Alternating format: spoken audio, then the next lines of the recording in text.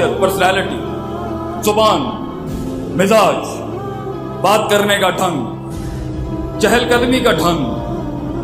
अपना आप बेचने का ढंग अपनी फ़िक्र उतारने का ढंग लोगों को अपने साथ मिलाने का ढंग लोगों को कन्विंस और कायल करने का ढंग लोगों से जंग लड़ने का ढंग लोगों से दुश्मनी लेने का ढंग लोगों से दोस्ती ले करने का ढंग वफा का ढंग